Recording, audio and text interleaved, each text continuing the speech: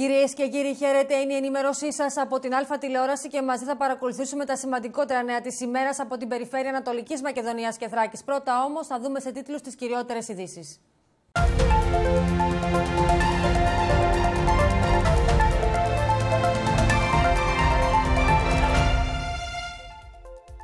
Επίδομα στέγασης, ποιοι είναι οι δικαιούχοι και ποια τα κριτήρια; Μέχρι τις 3 Ιουλίου οι αιτήσεις για τους παιδικούς σταθμούς μέσω ΕΣΠΑ. Δήμαρχος Αλεξανδρούπολης μίλησε για το έργο του και όλα όσα δρομολογούνται και κάλεσε τους πολίτες να χτίσουν μαζί το μέλλον του Δήμου. Καλό καλοκαίρι από το πρώτο πειραματικό σχολείο με χαμόγελα και συγκίνηση.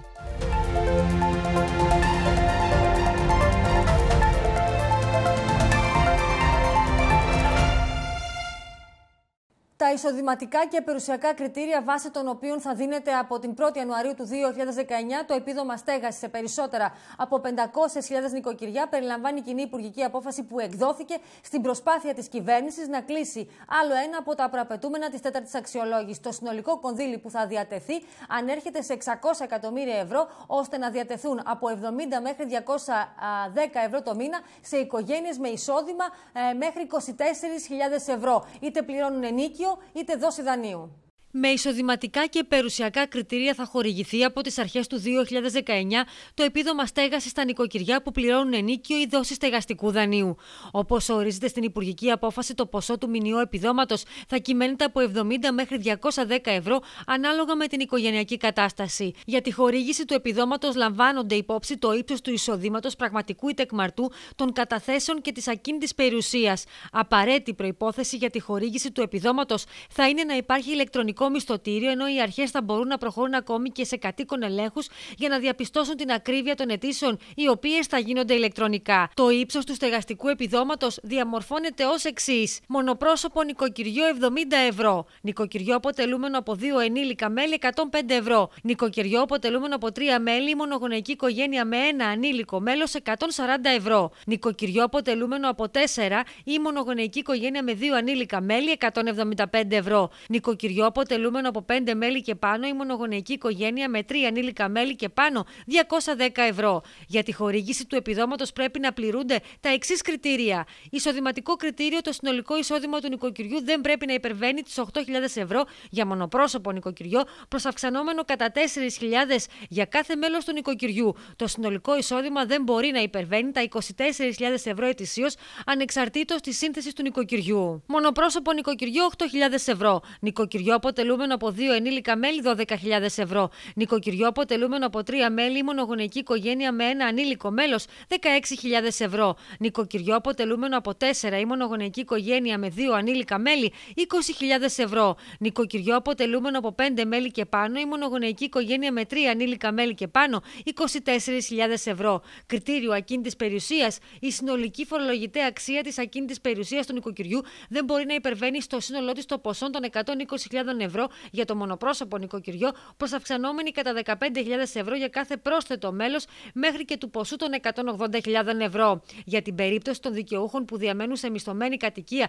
το επίδομα καταβάλλεται μηνιαίως με πίστοση σε τραπεζικό λογαριασμό του δικαιούχου, ο οποίος στηρείται υποχρεωτικά σε πιστοτικό ίδρυμα που λειτουργεί στην Ελλάδα. Στην περίπτωση δικαιούχου που επιβαρύνεται με το κόστος εξυπηρέτησης στεγαστικού δανείου πρώτης κατοικίας, το επίδομα καταβάλλεται απευθείας στον τραπεζικό λογαριασμό εξυπηρέτησης του δανείου. Το δικαίωμα στην καταβολή του επιδόματος ισχύει από την πρώτη ημέρα του επόμενου μήνα από αυτόν κατά τον οποίο υποβλήθηκε η αίτηση. Χρειάζεται κουράγιο για να αντέξεις κάποιον σαν εμένα, παραδέχτηκε ο Δήμαρχος Αλεξανδρούπολης Βαγγέλης Λαμπάκης, ευχαριστώντας τους συνεργάτες του για τη στήριξη που του παρέχουν όλα αυτά τα χρόνια που βρίσκεται στο τιμόνι του Δήμου Αλεξανδρούπολης. Ο κ. Λαμπάκης προκάλεσε μία συνάντηση των μελών της παράταξής του, Πόλη και Πολίτες, στην έναρξη της οποίας έκανε μία ομιλία παρουσιάζοντας όλα όσα έχουν γίνει και έχουν προγραμματιστεί για το Δήμο της Αλεξανδρούπολης στα 7,5 χρόνια που τον διοικεί η παράταξή του. Μία βραδιά που τα είχε όλα. Απολογισμό, στόχευση και πολλά ευχαριστώ. Ο Δήμαρχος Αλεξανδρούπολης Βαγγέλης Λαμπάκης και τα μέλη της παράταξης του Πόλη και Πολίτες, αλλά και φίλοι συναντήθηκαν σε μία βραδιά με χαλαρή διάθεση να καταγράψουν τα πεπραγμένα και τις προοπτικές του Δήμου Αλεξανδρούπολης. Αρχικά ο κ. Λαμπάκης θέλησε να ξεκαθαρίσει τις προθέσεις του, λέγοντας πως στόχος της συγκεκριμένης συνάντησης ήταν να μπει τέλος στην παραπληροφόρηση με αληθινή ενημέρωση, όλα στο φως, όπως είπε χαρακτηριστικά, χωρίς μυστικά. Το συμφέρον του Δήμου και το των δημοτών είναι πάνω απ' όλα γι' αυτό, τόσο ο ίδιος όσο και οι συνεργάτες του, όπως είπε, εργάζονται πολλές ώρες με σύνθημά τους το συνεργασία, συνεργασία, συνεργασία. Να σας ενημερώσω, γιατί η αλήθεια είναι πως με τη σκληρή δουλειά. Να σας πω ότι δουλεύουμε 14 με 15 ώρες το 24ωρο. Μαζί με μένα και όλοι αυτοί οι οποίοι βρίσκονται μέσα στη Δημοτική Αρχή, θέλοντας και εμείς, να σας πω ότι από το πρωί στις 7 αρχίζουμε και ενδεχομένως με τα τηλέφωνα να μιλάμε και μέχρι τις 12 μία τα μεσάνυχτα, γιατί ένας Δήμος τεράστιος σαν αυτόν της Αλεξανδρούπολης, με την δυναμική που έχει και την προοπτική που του δώσαμε, τη σκληρή δουλειά που κάνουμε και την, α, τα αντικείμενα τα οποία πήραμε πάνω στην πλάτη μας. Γιατί αν δείτε, αν μας παρακολουθείτε, πήραμε φορτία τα οποία δεν υποχρεούμε να τα κουβαλήσουμε.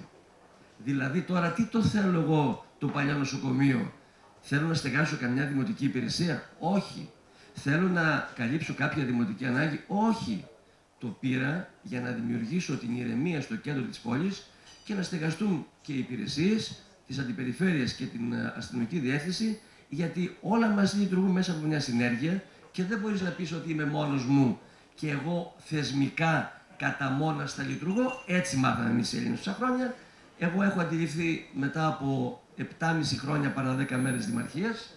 Έχω πληροφορηθεί και έχω μάθει και έχω αντιληφθεί και έχω εμπεδώσει απολύτως ότι εάν δεν έχεις τη συνεργασία στο αίμα σου, αν δεν αντιληφθείς ότι όχι τεχνιέντος, αλλά ότι πρέπει να το κάνεις κομμάτι από τη ζωή σου, πρέπει να το κάνεις α, ποιοτικά α, κάτι το οποίο σε, σε συγκλονίζει κάθε που, που ξυπνάς. Συνεργασία, συνεργασία, συνέργεια. Δεν θα μπορέσεις να πετύχεις τίποτα ή ελάχιστα από αυτά που δικαιούσε μέσα από έναν αγώνα που ο καθένας αντιλαμβανόμαστε ε, πόσο ο, δυνατός είναι. Η επαφή μου μέχρι τώρα με όλους όσους πέρασαν από τις τελευταίες 4-5 κυβερνήσεις, γιατί 7,5 χρόνια δήμαρχος πέρασα πέρασαν από το γραφείο μου πάρα πολύ, πρωθυπουργοί, υπουργοί, πρέσβεις κτλ. γίνεται απολύτως κατανοητό ότι η Αλεξανδρούπολη πρέπει να παίξει τον ρόλο του μέλλοντος ως κορονίδα στην αναπτυξιακή προοπτική της Ελλάδος και ιδιαίτερα στην διαμετακόμιση και επιτέλους κάποια στιγμή αυτά τα οποία υπόσχονται και δεν μπορώ να καταλάβω πώς υπόσχονται τόσα πολλά και δεν κάνουν τόσα πολλά ακριβώς που υπόσχονται και μένουν συνέχεια στην επιφάνεια. Εγώ αισθάνομαι ότι αν πω κάτι και δεν είναι αληθινό, την επόμενη μέρα πρέπει να κρυφτώ από προσώπου γης. Ο κύριος Λαμπάκης αναφέρθηκε αναλυτικά στην αναπτυξιακή πορεία του Δήμου σε συνδυασμό με τις δυνάμεις που γεννιόνται από την εξωστρέφεια και πώς αυτή επιτυχάνεται με τη συμπόρευση και το συνεργατισμό με φορείς και θεσμούς όπως το Επιμελητήριο, το Δημοκρίτιο, το Πανεπιστημιακό Γενικό Νοσοκομείο, τον Όλα, τους ξενοδόχους, τον Εμπορικό Σύλλογο. Εστίασε στην επιχειρηματικότητα, στις επενδύσεις, στα έργα αλλά και στην ενδοπεριφερειακή συνείδηση. Ξεχωριστή αναφορά έκανε στην απορροφητικότητα που παρουσιάζει ο Δήμος. Να σας πω ότι η διαχειριστική αρχή της περιφέρειας, να ακούει εδώ και ο ξακουστός ο Κώστας είναι, δεν ξέρω ποιος άλλος στην περιφέρεια, α, η κυρία Πρόεδρος του, του Περιφερειακού Συμβουλίου, ε, η Ελένη Δημούδη, ε, δουλεύει με το Δήμο της Αλεξανδρούπολης. Προσέξτε, δεν το λέω με έπαρση ανταγωνιστικά απέναντι στους άλλους 21 Δήμους. Τους αγαπώ και την περιφερειακή συνείδηση την διδάσκω, γιατί την έχω μέσα στο DNA μου, μέσα στο αίμα μου. Αλήθεια λέω ότι θέλω να αναπτυχθεί κάθε γωνιά της περιφέρειάς μας.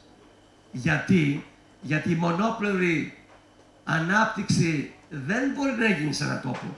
Και ένας τόπος είναι η περιφέρεια και 22 δήμοι. Έχει δυο λιμάνια, έχει αυτό που έχει ως ορεινό όγκο, ο οποίος συνέχεται και φεύγει από τον ένα δήμο στον άλλον και βέβαια η αναπτυξιακή πολιτική δεν μπορεί να είναι διαφορετική απλά λαμβάνοντας υπόψη μας κάθε φορά το κάθε συγκριτικό, συγκριτικό πλεονέκτημα και διαφοροποίηση να το λαμβάνουμε υπόψη μας και να δίνουμε μεγαλύτερη εντονότητα κάθε φορά μέσα στα πλαίσια του δικαίου που χρειάζεται το κάθε Δήμος και τις ανάγκες να επιβαίνουμε περισσότερο σε αυτόν και λιγότερο σε κάποιον άλλον. Έτσι λοιπόν η αλήθεια είναι ότι ο Δήμος Αλεξανδρούπολης μέχρι στιγμής έχει απορροφήσει από το ΕΣΠΑ στα 7,5 χρόνια πάνω από 130 εκατομμύρια. Και είναι ο πρώτος Δήμος όλη την περιφέρεια. Με τεράστια διαφορά από τον δεύτερο. Αυτή τη στιγμή τρέχουν περίπου 55 εκατομμύρια σε έργα του ΕΣΠΑ. και έχουμε σε άλλα προσωρινούς αναδόχους ή οριστικούς και τα άλλα είναι στον αέρα ήδη. Και αυτό δεν μπορεί κανείς να μας το κλέψει, δεν μπορεί κανείς να μας το αρνηθεί. Είμαστε ο πρώτος Δήμος και είμαστε μέσα στην πρώτη πεντάδα στην απορρόφηση α, χρηματοδοτήσεων από το ΕΣΠΑ και σε παραγωγή και δημιουργία έργων. Στην πρώτη πεντάδα σε όλη την Ελλάδα και πρώτη στην ενέργεια και πρώτη στην εγκατάσταση LED σε όλο το Δήμο. Ο Δήμαρχος, αφού απαρίθμησε μία σειρά από έργα που έχουν δρομολογηθεί και δίνουν άλλη προοπτική και δυναμική στην Αλεξανδρούπολη, όπως το LNG, η τηλεθέρμαση, το σφαγείο φερών, η ενέργεια, το γεθρομικό πεδίο, στάθηκε και στην σημαντική συμβολή του Μητροπόλητη Αλεξανδρούπολος, ειδικά στον τομέα του τουρισμού. Και βέβαια, μην ξεχάσουμε τον Μητροπολίτη μας, ο οποίος τουλάχιστον δύο ταξίδια έκανε μαζί μας.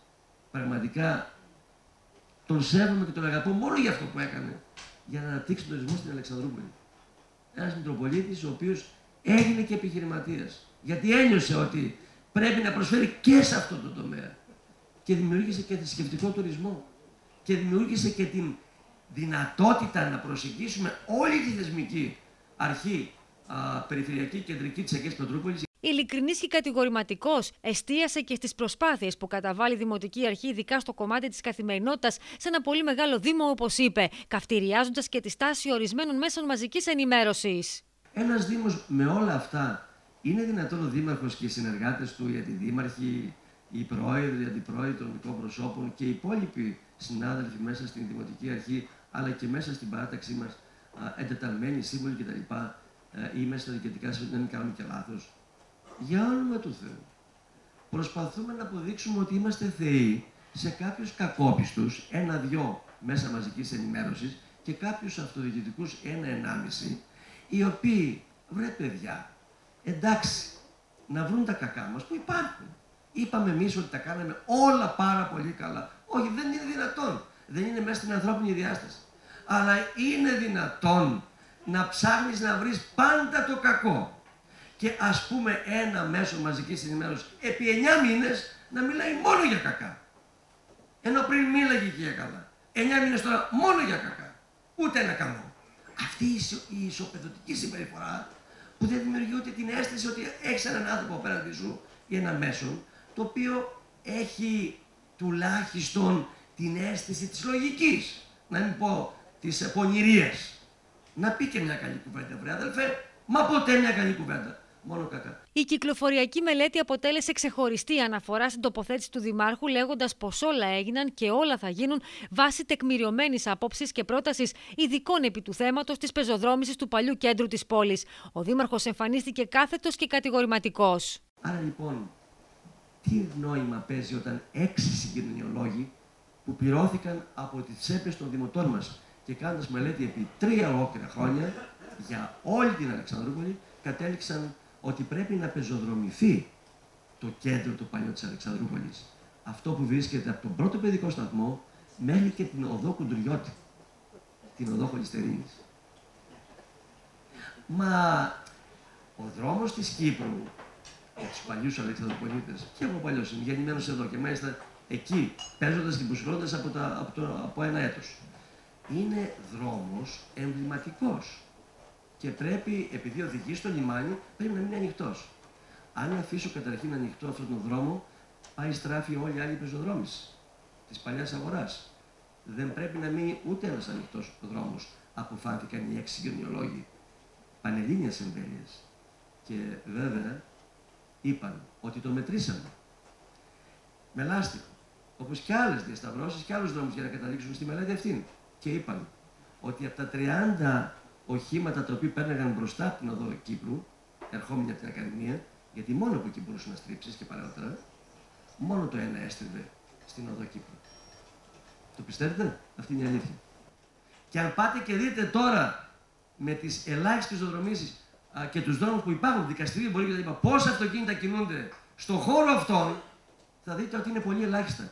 Ο χώρος αυτός, έστω κι αν χρειαστεί να πάω στο σπίτι μου, όπως επέμενα για το κτέλο, όπως επέμενα για τη λαϊκή αγορά, θα πεζοδρομηθεί.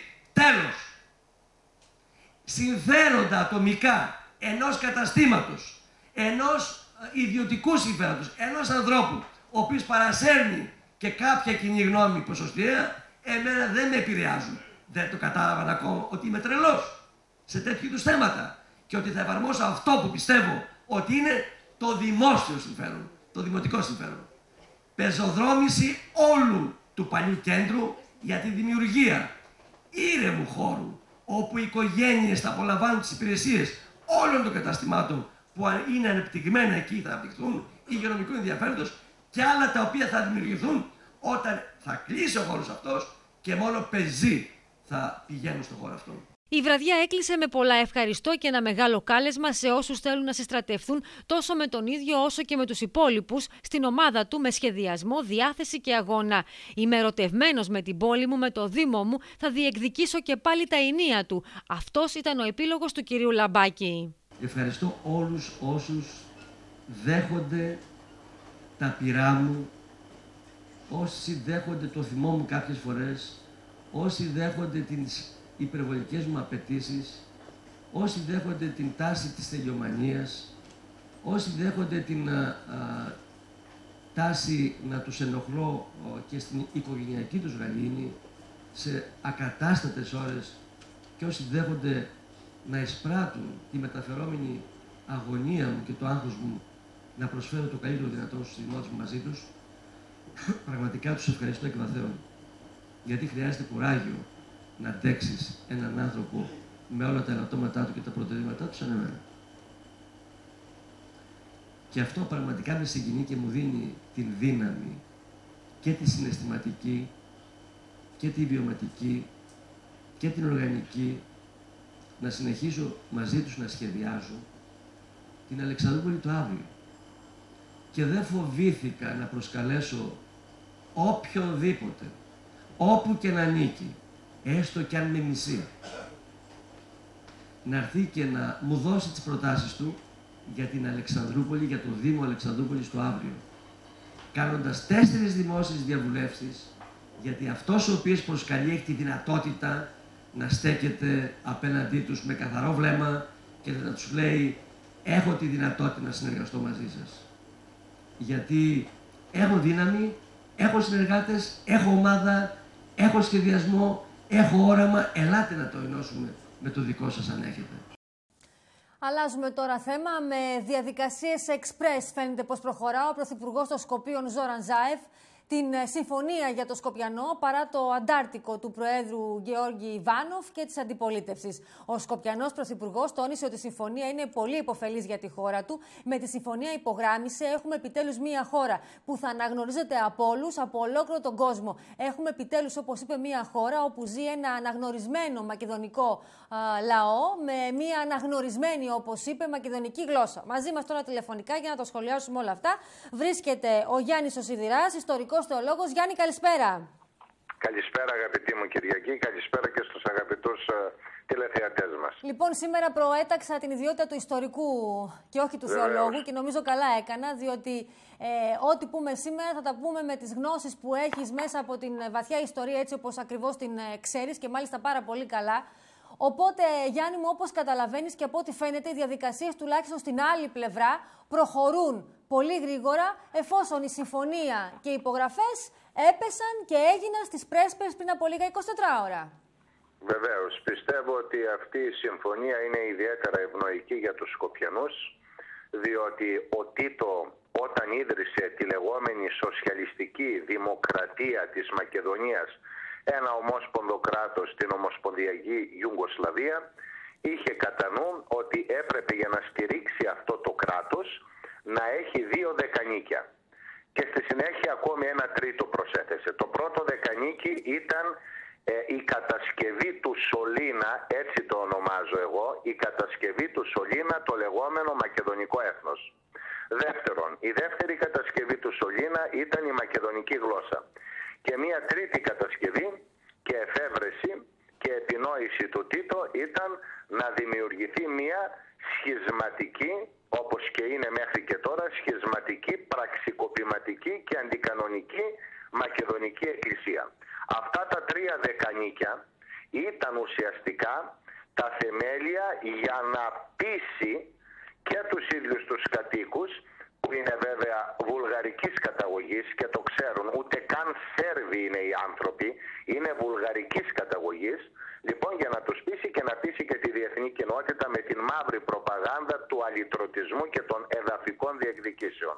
Γιάννη, βάλε, Γιάννη, άκουσα με λίγο. Βάλε μία άνω τελεία, γιατί μαζί σου θέλω να κάνω μία συζήτηση και να σου θέσω κάποια ερωτήματα σε όσα βεβαίως μπορείς και εσύ να μας απαντήσεις. Ναι. Ε, γιατί η αλήθεια είναι ότι αυτές τις ημέρες υπόθηκαν και ακούστηκαν πάρα πολλά και εμείς εδώ μέσα από τα δελτία ειδήσεων και με επιστήμονες και με πολιτικούς είπαμε πολλά και διάφορα. Όμως ναι. υπάρχει ένα ερώτημα πια έτσι όπως έχει διαμορφωθεί ε, η κατάσταση και επέτρεψέ μου να το απευθύνω σε σένα γιατί ξέρω ναι. ότι με νυφαλιότητα και με ψυχραιμία θα μας δώσεις μία κέρια απάντηση. Εφόσον λοιπόν λέμε στη χώρα μας ότι τους τα δώσαμε όλα κάναμε τα πάντα ό,τι μας ζήτησαν. Έτσι, το συμφωνούμε μέχρι εδώ. Από την ναι. άλλη πλευρά υπάρχει ακριβώς ε, η ίδια στάση. Και οι Σκοπιανοί λοιπόν λένε ότι τα δώσαμε όλα στους Έλληνες, τους παραχωρήσαμε τα πάντα, δεν τους χαλάσαμε κανένα χατήρι. Γιατί λοιπόν, εάν είναι καλώς καμωμένα για αυτούς, για τους Σκοπιανούς εννοώ, αντιδρούν και μάλιστα με τρόπο πάρα πολύ έντονο. Τι άλλο δηλαδή θέλουν οι Σκοπιανοί που δεν το πήραν; Είναι ακριβώς κέριο το ερώτημα. Πολύ σοβαρό το ερώτημα. Γιατί αντιδρούν αφού τα πήραν. Αντιδρά καταρχήν για να είμαστε ακριβείς. Αντιδρά το εθνικιστικό κομμάτι του κόμματος του ΔΕΜΕΡΟ. Δηλαδή αντιδρά μία μερίδα με πολιτικά κριτήρια και με πολιτικά ελαττήρια που έχουν ως βάση τον εθνικισμό. Αυτός, ναι, αλλά είδαμε και απλό λαό να βγαίνει στον δρόμο και να ξεσηκώνεται. Δεν είναι όλοι αυτοί οι εθνικιστές, φαντάζομαι, γιατί το ίδιο μπορούμε να πούμε και για μας. Όταν βγήκαμε και διαδηλώσαμε και κινητοποιηθήκαμε, δεν σημαίνει ότι όλοι όσοι βγήκαν στους δρόμους ήταν εθνικιστές, ακραίοι, φασίστες και όλα αυτά που Σε ακούστηκαν. Σε καμία περίπτωση. Δεν χρειάζεται να αντιδράσω και να πω το αντίθετο. Συμφωνώ με την προσέγγιση σου απόλυτα. Εγώ λέω ότι ένα μεγάλο κομμάτι από αυτούς είναι πρόσωπα τα οποία έχουν αυτήν την ιδεολογία, την πολιτική, την γραμμή αν θέλεις, την κατευθυνόμενη του Εθνικιστικού Κόμματος του Βεμερό. Μια άλλη ομάδα είναι, θα μου επιτρέψεις να πω, οι άνθρωποι οι οποίοι έχουν άγνοια. Είναι αυτοί οι άνθρωποι οι οποίοι, αγαπητοί μου Κυριακή, επί 80 σχεδόν χρόνια μεγάλωσαν με την προπαγάνδα που έσπερε ο Τίτος στα σχολιά, στα ΜΜΕ της εποχής κλπ.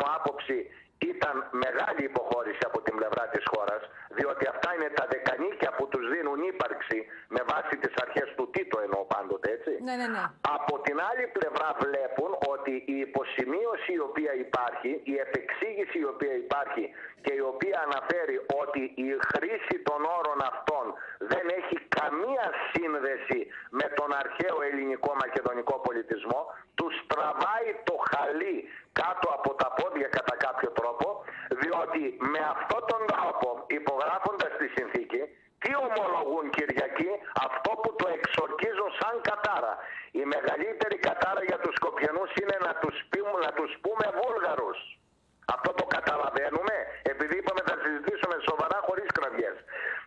Τον, τον Σκοπιανό, εάν τον αποκαλέσεις ότι έχεις παραφιάδα βουλγαρικής ρίζας, τον καταστρέφεις, τον διαλύεις. Όταν αφαιρείται λοιπόν το υπόστρωμα ότι είναι απόγονοι των αρχαίων Μακεδόνων του Μεγάλου Αλεξάνδρου, αμέσως καταλαβαίνουμε ότι οι ίδιοι βρίσκονται μετέωροι, διότι αποδέχονται, δια της υπογραφής εννοώ, ότι έχουν βουλγαρική παραφιάδα, διότι οι Σέρβοι δεν είναι οι άνθρωποι και η γλώσσα τους είναι σερβοβουλγαρικό τοπικό ιδιώμα, αλλά με 65 έως 70% ρίζες βουλγαρικής γλώσσας. Γι' αυτό αντιδρούν. Γιατί φοβούνται, να το πω αλλιώς, ότι ξεσκεπάζεται η βουλγαρική τους καταγωγή. Και αυτό είναι όνειδος για τους ίδιους. Πρόσεξε όμως Γιάννη μου, και οι Βούλγαροι σε όλο αυτό το διάστημα, η Βουλγαρία δηλαδή, έχει κρατήσει μια στάση που προκαλεί και ερωτήματα και πολύ μεγάλη συζήτηση αν θέλεις, έτσι. Εγώ οφείλω να σε συγχαρώ και δεν το κάνω κολακευτικά και το ξέρεις, να σε συγχαρώ πραγματικά διότι σε όλες τις συζητήσεις που ακούω όλοι μένουν στα χειροκροτήματα Ευρωπαίων, Νατοικών και Αμερικανών. Σε συγχαίρω λοιπόν διότι επεσήμανες κάτι πολύ σημαντικό ιστορικά ως δημοσιογράφος. Τον ρόλο και την παράμετρο Βουλγαρία. Η Βουλγαρία αγαπητή μου Κυριακή όλα αυτά τα χρόνια από το 44 μέχρι και τώρα είναι ο βασικός παίχτης που διαμόρφωσε τις προϋποθέσεις για να γεννηθεί αυτό το κράτος. Γιατί, γιατί, διότι ο Τίτο γνώριζε καλά πως στην περιοχή των Σκοπίων οι Βούλγαροι είχαν λόγο να διεκδικούν εδάφη διότι γνώριζε και ο Τίτο και το βουλγαρικό κράτος ότι αυτοί οι πληθυσμοί που σήμερα λέμε Σκοπιανοί είναι βουλγαρικής καταγωγής. Γι' αυτό έδωσε ένα τελείως διαφορετικό όνομα, ούτε Σέρβους τους ονόμασε, ούτε Βούλγαρους τους ονόμασε και τους ονόμασε Μακεδόνες. Η Βουλγαρία λοιπόν είναι ένας παρατηρητής προσεκτικός και είναι πολύ εύστοχη η επισήμανσή σου. Για να γυρίσουμε στο τώρα, τότε είπαμε γιατί και πώς αναμίχθηκε το ζήτημα της Βουλγαρίας. Επειδή λοιπόν η συγκεκριμένη πολιτική των Σκοπίων θέλει την ύπαρξη μακεδονικού έθνους, πλαστού έθνους, ανύπαρκτου έθνους, ψευδεπίγραφου έθνους, κατασκευασμένο από το Σολίνα. Και επειδή θεωρούν οι Σκοπιανοί ότι υπάρχουν αλήτρωτοι αδελφοί τους Μακεδόνες στην Ελλάδα, που δεν υφίσταται καν τέτοιο ζήτημα, άλλο τόσο θεωρούν ότι υπάρχουν αλήτρωτοι Μακεδόνες όπως αυτοί εννοούν τον όρο και στην περιοχή της Βουλγαρίας. Άρα ο αλυτρωτισμός δεν αφορά μόνο την Ελλάδα. Η Βουλγαρία παρατηρεί εκ του σύνεγγυς με σιωπή. Ναι, η Βουλγαρία μάλιστα έχει μιλήσει και για, να το θέσω κομψά, για να μην παρερμηνευτώ, ακόμη και για αλλαγή συνόρων, για αλλαγή εδαφών. Δηλαδή είναι πολλά που πρέπει να μας προβληματίσουν και να βάλουμε στην κουβέντα μας, Γιάννη. Πολύ σωστά. Αυτό θα έλεγα, ότι μία μόνο δήλωση ότι αυτή η συμφωνία δεν θα πρέπει να αποτελέσει αφορμή για αλλαγή συνόρων. Διότι όταν παραχωρείται αυτό που ζητούσαν αυτοί επί 8 δεκαετίες, δηλαδή η έννοια μακεδονικού έθνους και μακεδονικής γλώσσας, και αφού θεωρούν ότι έχουν αλήτρωτους αδελφούς στη Μακεδονία του Πυρήν, δηλαδή μέσα στο, στο έδαφος της σημερινής Βουλγαρίας, άρα το βουλγαρικό κράτος θεωρεί ότι πρέπει να ξεκαθαρίσει τα πράγματα με αυτή τη δήλωση, γιατί αύριο μεθαύριο μπορούν να πούν εμείς θέλουμε να σώσουμε τους αλήτρωτους αδελφούς μας. Γιάννη, είναι κατανοητό αυτό που είπες, αλλά επέτρεψέ μου για να τρέξω λίγο τη συζήτηση, γιατί θέλω να σου κάνω οπωσδήποτε δύο-τρεις ακόμα ερωτήσεις. Ναι. Ξέρω ότι θα μπορούσαμε να μιλάμε ώρες ατελείωτες για το συγκεκριμένο θέμα και ειδικά έτσι όπως έχει πλέον ε, προκύψει μέχρι στιγμής. Πες μου λίγο τώρα και με την δημοσιογραφική ματιά την οποία διαθέτεις, θεωρείς ότι αυτή η συμφωνία τελικά θα περάσει; Και το ερώτημά μου έχει να κάνει και με τις δύο πλευρές. Δηλαδή και με την πλευρά των Σκοπίων και με την πλευρά της Ελλάδας. Πιστεύω, πιστεύω μέχρι αυτή τη στιγμή ότι η κυβέρνηση ΖΑΕΦ αυτού του νεαρού πολιτικού δείχνει παρά τις ελεκτικές ύβρις και, όσα αυτά, ε, και όλα αυτά τα οποία ακούει και τις προσάπτουν δείχνει ότι εννοεί να προωθήσει αυτή τη συμφωνία. Θέλω να είμαι ψύχρεμος και αντικειμενικός. Δεν ξέρω εάν αυτή η βούληση της κυβέρνησης ΖΑΕΦ παραμείνει μέχρι το τέλος σταθερή. Εγώ πιστεύω ότι θα παραμείνει. Στη χώρα μας, στην Ελλάδα... Εκτός και αν λακίσουν κάποιοι λόγω της πίεσης της εθνικιστικής στην γειτονά χώρα. Στην Ελλάδα, ε, Κυριακή μου, οφείλω να είμαι αντικειμενικός. Μέχρι τώρα γνωρίζουμε ότι θα έρθει στο τέλος για να επικυρωθεί. Η πολιτική σκακέρα όπως έχει διαμορφωθεί με, το, με τη μεταξύ των πολιτικών δυνάμεων δείχνει, δείχνει ότι με δυσκολία ίσως περάσει. Ναι. Α κρατήσουμε το δείχνει και το με δυσκολία, γιατί κανείς δεν ξέρει μέχρι τελική στιγμή τι μπορεί να συμβεί. Γιατί ο κ. Παπαδρέου, ως πρόεδρος της Διεθνούς, άλλα λέει. Ε, ως ε, τομεάρχη εξωτερικής πολιτικής ε, στο κίνημα αλλαγής, άλλα λέει. Ο κ. Θεοδωράκης επίσης λέει ότι μια πολύ καλή συμφωνία θα δούμε τελικά. Δηλαδή, πραγματικά το πολιτικό κλίμα είναι αρκετά σταθέ, οπότε ας περιμένουμε. Όσο για τους Ανέλ, το έχουν ξεκαθαρίσει ότι δεν πρόκειται να ψηφίσουν τη συμφωνία. Ναι. Θα δούμε τελικά τι θα γίνει. Ένα τελευταίο ερώτημα, πολύ πολύ γρήγορα, σε παρακαλώ πάρα πολύ και να κλείσουμε με αυτό. Θέλω όμως αυτό το ερώτημα να το κάνω σε σένα, γιατί είπαμε ότι έχεις μια μεγάλη γνώση της ιστορίας.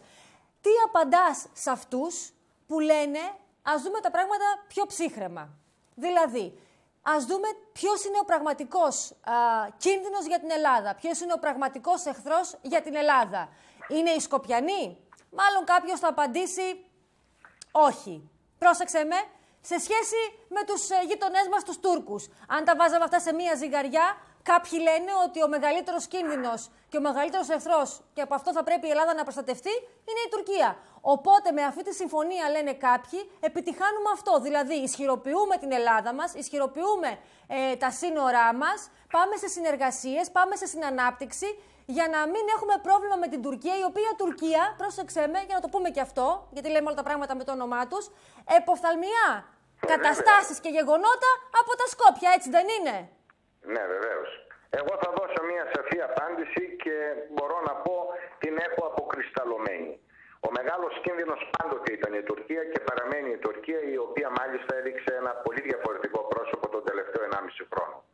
Και πρέπει να ανασκουμποθούμε όλοι και να σοβαρευτούμε και ω πολίτε και ω πολιτική ηγεσία. Ο κίνδυνο, ε, αγαπητή μου Κυριακή, για να τα πούμε όπω λε έξω από τα δόντια, δεν είναι από τα Σκόπια και όχι μό, και δεν είναι από τα ίδια τα Σκόπια για να είμαι ακριβής. Εγώ έχω την αντίθεσή μου ως ιστορικός βέβαια επιστήμονας δεν μπορώ να κάνω χαρακτήρι και να αυτοαναιρεθώ διότι το πιστεύω και το λέω ότι η παραχώρηση ιδιότητας μακεδονικού έθνους και μακεδονικής γλώσσας με ανησυχεί όχι για το τώρα με ανησυχεί για το μέλλον εάν κάποιοι που δεν μπορώ να τους προσδιορίσω γιατί δεν έχω αποδείξεις, θελήσουν στο μέλλον, χρησιμοποιώντας αυτό το μικρό κρατήδιο, να δημιουργήσουν ζήτημα αλλαγής συνόρων. Και είμαι σαφής. Λοιπόν, Γιάννη, σε ευχαριστώ πραγματικά για αυτή την πολύ ψύχρεμη και ενδιαφέρουσα, αν θέλεις, συζήτηση και τοποθέτηση από την πλευρά σου για ένα θέμα εξαιρετικά, εξαιρετικά Έχουμε σοβαρό. Έχουμε να πούμε πολλά στο μέλλον. Πιστεύω ότι αυτά θα ξεδιπλώνονται μπροστά μας. Χρειάζεται ψυχραιμία. Αυτό ακριβώς. Και βεβαίως, και βεβαίως πάντοτε να έχουμε κατά νου ότι ε, ο διάολος κρύβεται πίσω από τις μικρές και λεπτές φράσεις και λέξεις. Σε ευχαριστώ θερμά. Καλή συνέχεια. Καλή συνέχεια. Έπεσε και η φετινή αυλαία της εμπορικής έκθεσης Αλεξανδρούπολης Αλέξπο 2018, η οποία φέτος διοργανώθηκε για 18η φορά. Η επισκεψιμότητα της έκθεσης κινήθηκε εντός των προσδοκιών των διοργανωτών και σύμφωνα με τις πρώτες εκτιμήσεις, το κατόφλι της πέρασαν περίπου 30.000 επισκέπτες. Πάμε όμως στο σημείο αυτό, κυρίες και κύριοι, να δούμε παρασκήνιο και πολλά σχόλια από την πρώτη μέρα των εγγενείων, δηλαδή δούμε την Αλέξπο αλλιώς. Με λίγο χιούμορ, προβληματισμό και σχόλια πάμε να δούμε την Αλέξπο 2018 Αλλιώς, η 18η Διεθνή Έκθεση διεξήχθη στο λιμάνι της Αλεξανδρούπολης με επισκέπτες και εκθέτες να δηλώνουν ικανοποιημένοι από τη διοργάνωση και τη στόχευσή της. Α γυρίσουμε όμως την πρώτη ημέρα της έκθεσης και συγκεκριμένα στην τελετή των εγγενείων, τα οποία έγιναν με την παρουσία του Υφυπουργού Οικονομίας και Ανάπτυξης Στέριου Πιτσιόρλα. Η ώρα είναι 8 το βράδυ και στην είσοδο της έκθεσης όλοι βρίσκονται υπατμών προκειμένου να υποδεχτούν τον Υφυπουργό, χαμόγελα και πηγαδάκια κυριαρχούν.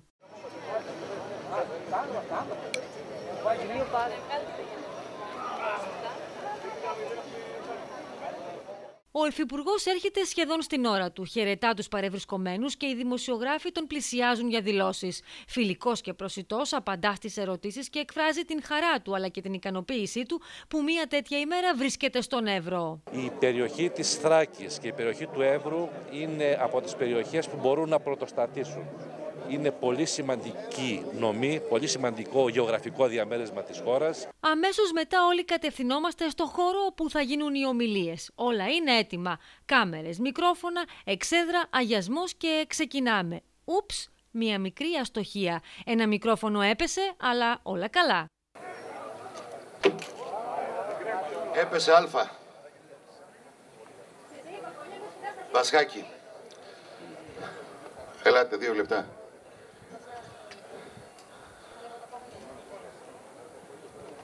Έτσι, μπράβο, καλύτερα. Μην, μην έχετε τις βάσεις, θα φύγουνε, δεν υπάρχει περίπτωση. Ο Υπουργός θα τα πει με στόμφο και κάτι θα φύγει από εδώ πάνω. Να είστε, να είστε βέβαιοι γι' αυτό. Ήρθε ο Ρεξάτος. Στο βήμα ανεβαίνει ο δημοσιογράφος και παρουσιαστής της βραδιάς Δημήτρης Κολιό. Με την χαρακτηριστική φωνή του και το χιούμορ που τον διακρίνει, προσπαθεί να κάνει ομιλητές και καλεσμένους να νιώσουν όμορφα, φιλόξενα, να σπάσει ο πάγος και να πειθαρχήσουν στο πρόγραμμα των ομιλιών. Με υπομονή και κατανόηση, όπως απαιτείται σε τέτοιες βραδιές. Κάνοντας όμως μια εξαιρετική και ίσως την πιο σημαντική επισήμανση της βραδιάς. Πολλές φορές, ξέρετε, 30 χρόνια στο λειτουργήμα της δημοσιογραφίας πάντοτε έχουμε μια κακιά συνήθεια. Εγώ τουλάχιστον το κάνω και συνήθως το κάνω με τον κύριο Δήμαρχο. Όταν λέει κάτι, του ζητάω την ημερομηνία. Δηλαδή, συνδεόμαστε με την Εγνατία. Πότε; Συνδεόμαστε με το σιδηρόδρομο. Πότε; Σιδηρό, συνδεόμαστε με το αεροδρόμιο. Φάρκο. Πότε; Χρονοδιάγραμμα. Υπουργέ μου, χρονοδιάγραμμα.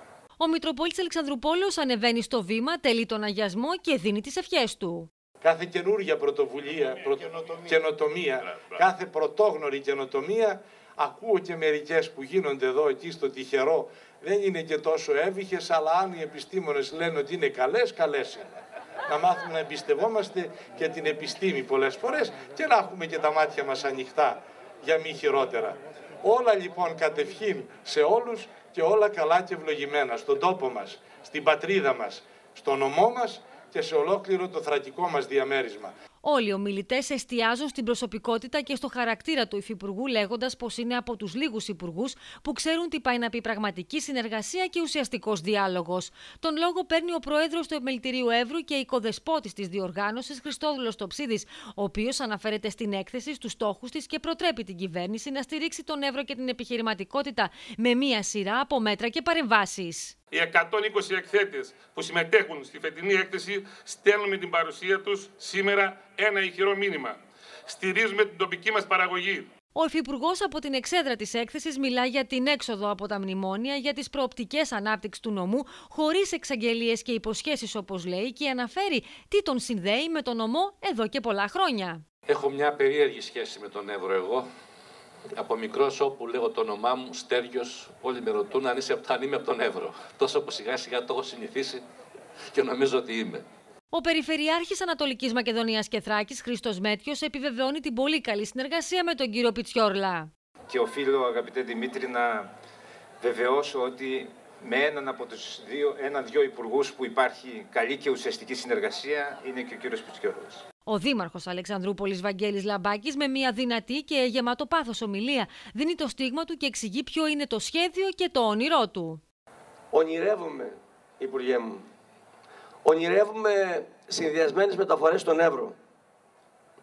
Ονειρεύουμε το αεροδρόμιό μας να δέχεται αεροπλάνα από όλα τα αεροδρόμια του κόσμου. Ονειρεύουμε τα αεροπλάνα αυτά να έχουν εκπροσώπους εταιριών οι οποίες θα δημιουργούν εδώ στη ζώνη λιμένος αλλά και σε άλλους χώρους επιχειρηματικούς θα δημιουργούν γραφεία και θα έχουν να τα επισκέπτονται για να επιβλέπουν τα εργοστάσια τους. Ο πρόεδρος της ΓΕΣΕΒΕ, Γιώργος Καβαθάς, επίσης μιλά για την προσωπικότητα του κυρίου Πιτσιόρλα. Προέρχεται από εμάς. Είναι άνθρωπος της αγοράς, είναι άνθρωπος του ιδιωτικού τομέα. Έχει αφήσει αποτύπωμα από όπου και αν πέρασε. Λόγω των εξελίξεων στη Βουλή για το Μακεδονικό, ο βουλευτής της Νέας Δημοκρατίας στον Εύρο, Αναστάσιος Δημοσκάκης, μετεμποδίων, αλλά τα καταφέρνει και φτάνει στην έκθεση, μεταφέροντας το μήνυμα του Κυριάκου Μητσοτάκη. Μετεμποδίων έφτασε στην πρωτεύουσα του Εύρου, διότι το καθήκον μας καλεί κύριε Υπουργέ να είμαστε σήμερα και χθες και αύριο στην Ολομέλεια. Ο πρόεδρος μας, ο Κυριάκος ο Μητσοτάκης, κύριε πρόεδρε πήρε την πρόσκλησή σας, σας ευχαριστεί θερμά, αλλά λόγω των ραγδαίων εξελίξεων πολιτικών που έχουμε δεν μπόρεσε να είναι συνεπής στην επιθυμία του και στην υπόσχεση που σας είχε δώσει. Ο Δήμαρχος Ορεστιάδας Βασίλης Μαυρίδης πάντα επίκαιρος και κέριος. Για άλλη μια φορά να εκφράσουμε την αγωνία μας και τη συμπαράστασή μας στους δύο στρατιωτικούς που κρατιούνται ακόμα στην Ανδριανούπολη. Ελπίζουμε σύντομα να είναι κοντά μας. Οι ομιλίες μετά από δύο ώρες και κάτι τελειώνουν και όλοι κατευθυνόμαστε στο εσωτερικό της έκθεσης. Η κορδέλα κόβεται.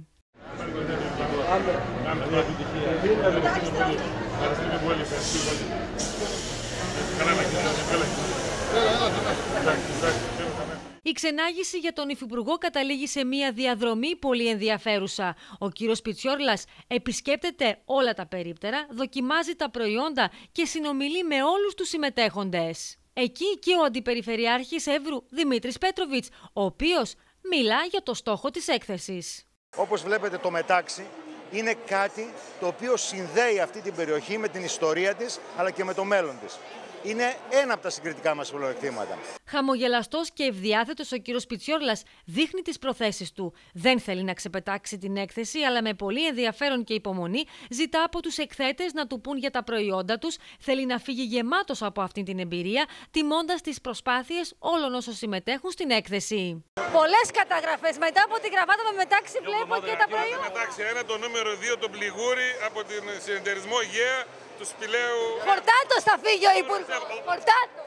Φορτάτος θα φύγει. Πολύ ευχαριστώ πολύ.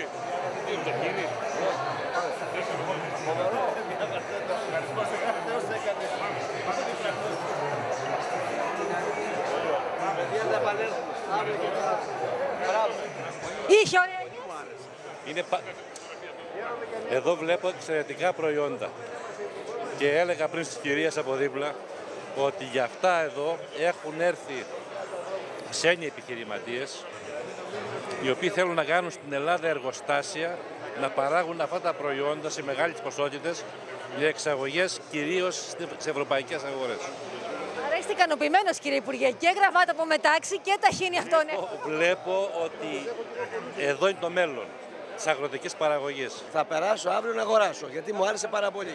Οι συμμετέχοντες έχουν βάλει τα καλά τους, δείχνουν το καλύτερό τους πρόσωπο, έχουν στήσει στην εντέλεια τα περίπτερά τους και προσκαλούν τους ευρύτες και όχι μόνο να τους γνωρίσουν από κοντά και να μάθουν για τα προϊόντα και τις υπηρεσίες τους. Κύριε Κανελάκη, δίνετε συμβουλές και όχι μόνο παροχή υπηρεσιών, ό,τι χρειάζεται κανείς για να ενημερωθεί. Θα μου επιτρέψετε να πω καταρχήν ότι θα ήθελα καταρχήν να συγχαρώ τους διοργανωτές και όσους έβαλαν στην δημιουργία της σημερινής έκθεσης. Πραγματικά. Αλλά εδώ θα μου επιτρέψετε να ξεκινήσω ανάποδα, διότι ξεκινήσαμε εντός εισαγωγικών, επιτρέψτε μου την έκφραση ότι τα ψάλαμε στον Υπουργό. Και τι το είπαμε. Με ποιο τρόπο; Του τα είπαμε, του είπαμε το εξής, ότι είναι ανάγκη, επιβάλλεται να μειωθεί η φορολογία και να μπορέσει ο τόπος να, να αναπτυχθεί και να συνδεθεί με τη δημιουργία των νέων θέσεων εργασίας. Και όλα κυλούν ρολόι. Μια έκθεση που και αυτή τη φορά πετυχαίνει το στόχο της και ανεβάζει τον πύχη σε ένα οικονομικό περιβάλλον που χτυπιέται από παντού, αλλά με επιχειρηματίες και επαγγελματίες που αντέχουν τα χτυπήματα και συνεχίζουν τον αγώνα με πείσμα και αισιοδοξία. Τώρα, κυρίες και κύριοι, θα αλλάξουμε εντελώς θέμα και κλίμα. Θα αφήσουμε πίσω μας την ε, έκθεση της Αλεξανδρούπολης. Σε πλήρη εξέλιξη είναι οι αιτήσεις για τους παιδικούς σταθμούς ε, ΕΣΠΑ στην ΕΤΑ, ώστε πάνω από 100.000 παιδιά να φιλοξενηθούν δωρεάν το 2018 με 2019 σε δημόσιους και ιδιωτικούς παιδικούς σταθμούς. Και κάθε χρόνο τέτοια εποχή έχω τη χαρά δίπλα μου να φιλοξενώ τον κύριο Τάσο Νατσαρίδη για να μας πει όλα αυτά που πρέπει να προσέξουν οι γονείς, γιατί όπως είπαμε, το πρόγραμμα ξεκίνησε και πρέπει οι αιτήσεις να γίνουν γίνουν εγκαίρως. Καλησπέρα σας. Καλησπέρα, κύριε Σας ευχαριστώ πολύ που και φέτος, όπως είπα, είστε κοντά μας για να μας δώσετε τις ε, πληροφορίες εκείνες που πρέπει να ξέρουν οι γονείς. Κυρίως οι μανούλες που κάνουν το πρόγραμμα και το τρέχουν, κατά κύριο λόγο, γιατί είναι πολύ μεγάλο κομμάτι του προγράμματος αυτό, αφορά τις γυναίκες. Για πείτε μας τώρα με το πρόγραμμα πότε ξεκίνησε και πότε ολοκληρώνεται, καταρχήν; Ξεκίνησε την Τετάρτη που μας πέρασε και λίγη 3 το μηνός. 3 Ιουλίου. 3 Ιουλίου, 12 ώρα τη νύχτα. 12 ώρα τα μεσάνυχτα, λοιπόν. Ναι. Πρέπει φέτος να προσέξουν κάτι οι ενδιαφερόμενοι, γιατί τα προβλήματα η αλήθεια είναι πως τα έχουμε αφήσει στο παρελθόν. Θυμάστε τι συζητάγαμε τα προηγούμενα χρόνια, πόσα προβλήματα, πόσα εμπόδια. Πέρυσι πήγαν καλά τα πράγματα. Να υποθέσω ναι. και φέτος, έτσι. Και φέτος και φέτος έχει μια αλλαγή όσον αφορά τα βρέφη. Είναι πανελλήνιο θέμα. Μένουν εκτός κάθε χρόνο Φέτος θα μπορούν οι γονείς που έχουν ε,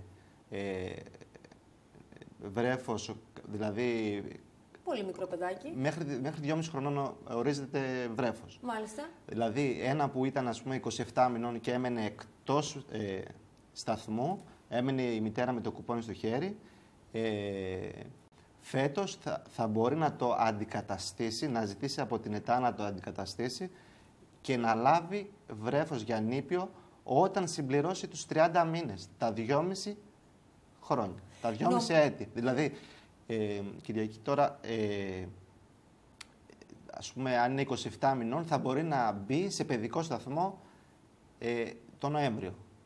Αν είναι, 26, το Δεκέμβριο. Αν είναι 25, το Γενάρη. Παρ' όλα αυτά έχει τη δυνατότητα όμως, από ό,τι καταλαβαίνω... Δεν μπορεί όμως να μπει σε βρεφικό και μετά όταν συμπληρώσει τα 2,5 να βγει, να πάρει το κουπόνι και να φύγει. Μάλιστα. Δεν το ενεργοποιεί, ζητάει από την ΕΤΑ να της το αντικαταστήσει και μόλις συμπληρώσει τα 2,5 χρόνια μπαίνει μετά, σε το... όποιο σταθμό της επιλογής της. Και μετά να γίνει δικασία ένταξης. Ιδιωτικό ή δημοτικό. Ιδιωτικό ή δημόσιο. Ναι, Πες μου, σε παρακαλώ πάρα πολύ, που έχει πολύ μεγάλη σημασία για να το καταλάβουμε. Ε, Πώς πρέπει να γίνει και φέτος η διαδικασία; Μπαίνουμε μέσα στην ε, σελίδα της ΕΤΑ, έτσι δεν είναι; Ναι, Ηλεκτρονικά ναι. γίνεται η αίτηση. Έτσι κι αλλιώς. Γίνεται... Από εκεί πέρα πρέπει να προσέξει κάτι ο ενδιαφερόμενος συγκεκριμένο; Τις ημερομηνίες, ε, να προσέξει να είναι στο, στο, μέσα στο χρόνο του, τα δικαιολογητικά που απαιτούνται και να κρατήσει το απόκομα του ταχυδρομείου. Δηλαδή, Μεγάλη παγίδα αυτή να την προσέξουμε, το έχουμε πει και άλλη ναι. φορά. Επίσης, στις, ε, ε, στις 23 Ιουλίου θα βγουν τα προσωρινά αποτελέσματα. Θα έχουν περιθώριο 5 εργάσιμες να, ε, μέχρι τις, όχι 5 εργάσιμες, μέχρι τις 28 για ενστάσεις. Στις 29 βγαίνουν τα οριστικά και θα πρέπει άμεσα να κλείσουν ε, θέσεις. Όταν λέμε Ήδη... αποτελέσματα, εννοούμε ναι, ναι. τις δομές ε, που μπορεί να γίνει δεκτό το παιδί του καθενός, έτσι δεν είναι; Ε... Ή αν έχει επιλεγεί να συμμετάσχει στο συγκεκριμένο πρόγραμμα και μετά είναι οι δομές; Έχει αλλάξει. Είναι με βάουτσερ και πηγαίνει ο γονιός Ο γονιός έχει το χαρτάκι στο χέρι και πηγαίνει μόνος. Καλά είναι να περάσει από τώρα, να κάνει μια έρευνα. Να δει, να δει τους, χώρους, του. τους ανθρώπους, τους χώρους και την απόσταση, γιατί δεν είναι για μια μέρα, είναι σε καθημερινή βάση. Λοιπόν, ας υποθέσουμε ότι υπάρχει μια πολύ μεγάλη επιλογή στον δικό σας ιδιωτικό σταθμό. Είμαι εγώ με το χαρτάκι, είμαι με το βάουτσερ, έρχομαι, τα συζητάμε, τα βλέπουμε από κοντά, τα συμφωνούμε, αλλά έρχεται όμως ένας αριθμός που δεν μπορεί το δικό σας η δική σας δομή να, να υποδεχτεί όλο αυτόν τον ε, αριθμό. Ξέρω εγώ, είστε για πόσα ναι, ναι, παιδιά; Ναι, ναι. Πόσα παιδιά; Με βάση την άδεια που σου έχει δώσει η πρόνοια. Ναι, άλλος, 30, άλλος 40. Α υποθέσουμε 30 παιδιά. Ναι. Αλλά το ενδιαφέρον και οι αιτήσει είναι για 35 παιδιά. Τι γίνεται σε αυτή την περίπτωση; Παίρνω το βάουτσερ εγώ σαν ναι. και φεύγω και πηγαίνω σε μια άλλη δομή, έτσι ναι. δεν είναι; Ή υπάρχει κάτι άλλο διαφορετικό ναι, από αυτό; Ε, ε, πηγαίνεις... Ε, Αλλού. Ναι, κοιτάξτε, τώρα επειδή έχει αλλάξει έχει αλλάξει ο τρόπος λειτουργίας και είναι ε, πιο καλός με το κουπόνι. Δεν περνάει όπου θέλει τα μέσα στους τέσσερις, ε, στους τέσσερις ε, σταθμούς που δήλωνε. Με το κουπόνι πρέπει να είναι ευχαριστημένες και οι δύο πλευρές. Και ο σταθμός με τη συνεργασία. Παράδειγμα, μου έφερνε, παράδειγμα, μου έφερνε κάποιος ένα παιδί.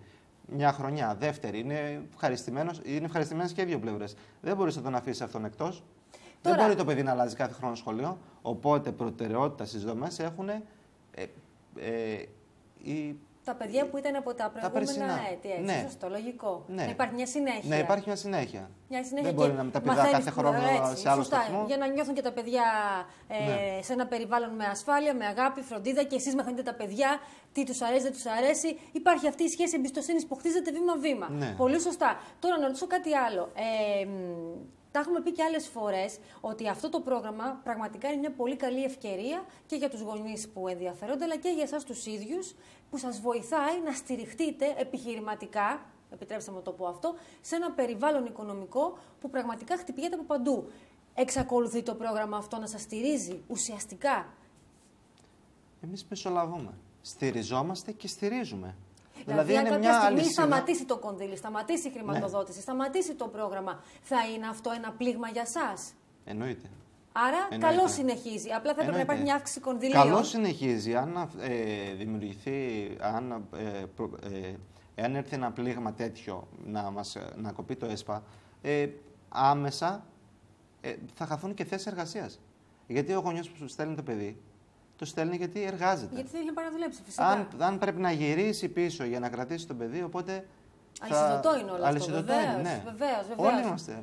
Τώρα να ρωτήσω κάτι άλλο που είναι πολύ βασικό και με αυτό θα ολοκληρώσουμε την κουβέντα μας. Επειδή έγινε πολύ μεγάλη συζήτηση το προηγούμενο διάστημα για την υποχρεωτική ε, προσχολική εκπαίδευση. Ε, αυτό πρακτικά εσάς τους παιδικούς σταθμούς πόσο σας προβλημάτισε ή όχι; Δηλαδή θέλω να πω τώρα τα παιδιά μέχρι πόσο χρόνο πρέπει να κάθονται στους παιδικούς σταθμούς; Μέχρι προνήπια, πέντε χρονών.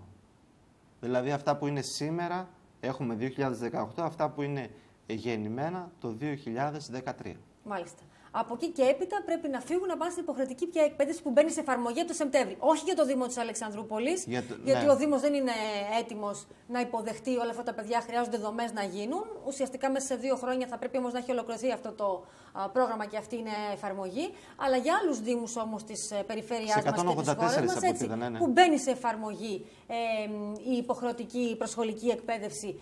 Αυτό τι πρακτικά μπορεί να σημαίνει για τους παιδικούς σταθμούς που μέχρι τώρα είχατε συνηθίσει και είχατε μάθει να έχετε εσείς αυτά τα παιδιά σε αυτή την ηλικία. Αλλάζει κάτι στο παιδί, θέλω να πω. Και τα νήπια.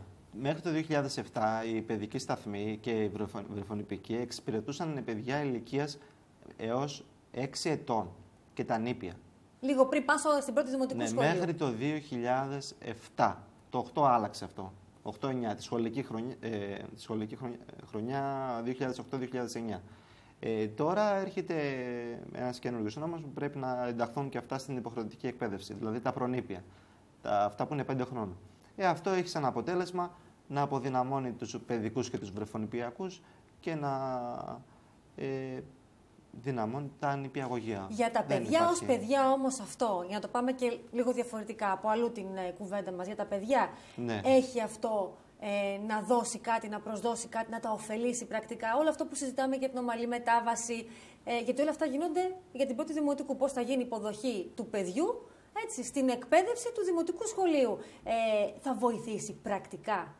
Κοίταξε, Κυριακή. Με την εμπειρία που έχετε, εκπαιδευτικός δεν είστε, δάσκαλος δεν είστε. Εκπαιδευτικός δεν είμαι και Αλλά με την δάσκαλος δεν εμπειρία είμαι. όμως που έχετε. Ε, ως γονιός και Μπράβο, με και την ως εμπειρία γονιός. που έχω και ως πολύτεκνο γονιός, αυτό που έχω να σου πω είναι ότι για μένα σημασία έχει να είναι με ευχάριστους ανθρώπους και με διάθεση για αυτό το αντικείμενο. Πόσο σημαντικό είναι αυτό. Αυτό, να Πόσο υπάρχει σημαντικό. διάθεση. Έτσι, αυτό ακριβώς. Να αφήσουμε στην άκρη τους περιορισμούς, τις δυσκολίες και να μπαίνουμε μέσα ευτυχισμένοι, να παίζουν οι δασκάλες με τα παιδιά και να περνάνε καλά.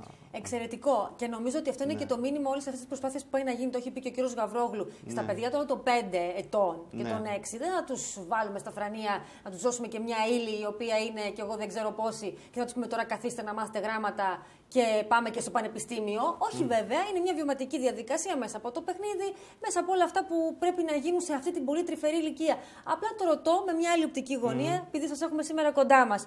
Λοιπόν, Είπαμε για το πρόγραμμα μέχρι τις 3 Ιουλίου να τρέξουν, να μην το αφήσουν τελευταία στιγμή, αν και νομίζω ότι ήδη υπάρχει πολύ μεγάλο ενδιαφέρον, έτσι δεν είναι; Το περιμένουν πώς και πώς το πρόγραμμα οι γονείς. Ε, να πω δύο πραγματάκια ακόμα Βεβαίως, που είναι βεβαίως, βασικά βεβαίως. και δεν έχουν αλλάξει. Το εισόδημα πάλι είναι 27.000 ευρώ. Ε, για, για κάθε δεύτερο παιδί ε, προσθέτονται 3.000 ευρώ. Δηλαδή ένας που έχει δύο παιδιά 30, ένας που έχει τρία παιδιά 33, ένας που έχει τέσσερα παιδιά 36.000 ευρώ οικογενειακό εισόδημα. Αυτό δεν άλλαξε, δεν μειώθηκε όπως λέγανε. Ε, τι ήθελα άλλο να πω; Τι άλλο είναι σημαντικό να αναφέρουμε; Ε, σημαντικό είναι να τονίσουμε ξανά ότι απευθύνεται σε μητέρες που εργάζονται ή δεν εργάζονται στον ιδιωτικό τομέα.